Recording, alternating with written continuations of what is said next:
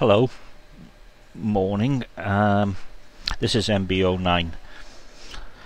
I'm going back to Dorchester and uh, there will be some trips to Weymouth as well. Uh, there'll be a CAMRA Beer Festival, which I didn't know about. Thank you, Facebook.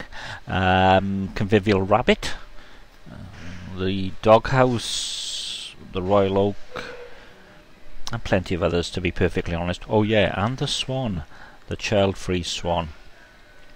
So, I don't know if you can tell, um, I'm actually in Sedgemoor South Services at the moment, and Costa's not open, so I'm drinking my uh, McDonald's coffee, which is cheap, uh, cheerful, very nice actually, so I'm not going to put it down.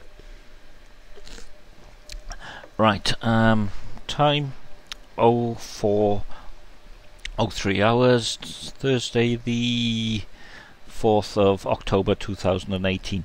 It's dry and mild out, which is good, and I'm having a great time, despite being in a service station in the middle of the night. Life could be a lot worse. Anyway, so that's that.